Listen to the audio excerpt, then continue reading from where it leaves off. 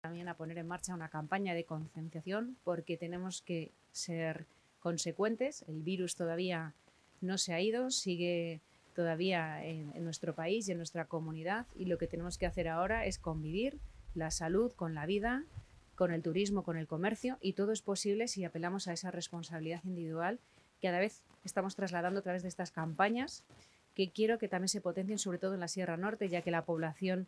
que está aquí viviendo durante estos meses ha estado viendo con gran pena todo lo que hemos vivido en las grandes eh, urbes, no queremos que esto se traslade ahora a estas zonas donde además vive una población en muchos casos mayor. Así que la Comunidad de Madrid lo que va a hacer es fomentar el turismo, pero con cabeza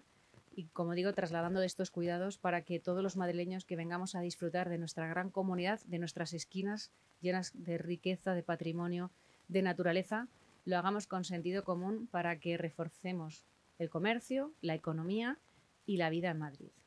Así que solamente quiero felicitaros a todos por esta gran iniciativa que no es nueva para vosotros, pero sí para todos aquellos que cada vez miramos con más sorpresa y admiración a las gentes del campo. Deciros que la Comunidad de Madrid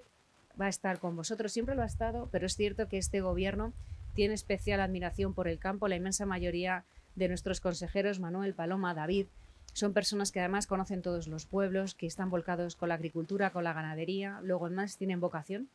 por todo ello. Así que vamos a estar de vuestro lado, acompañándoos en todos vuestros desvelos, en vuestras dificultades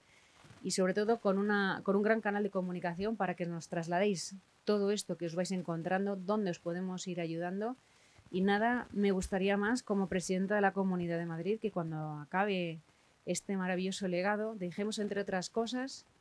a la gastronomía madrileña en su mejor punto, al campo madrileño eh, de la manera más reconocida por el público en general, por todos los españoles que vengan a Madrid a trabajar o a vivir.